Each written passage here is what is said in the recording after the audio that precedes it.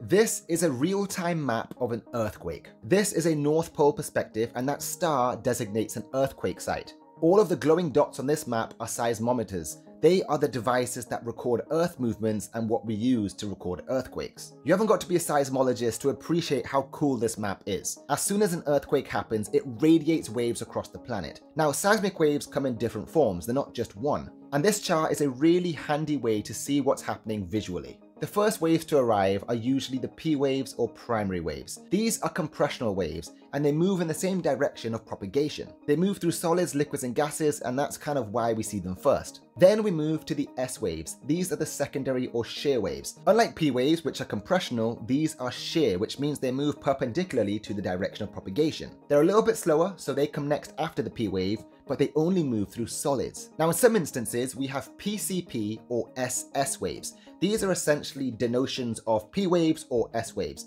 and what it basically means is those waves have been reflected or altered in some form. PCP waves are pretty awesome.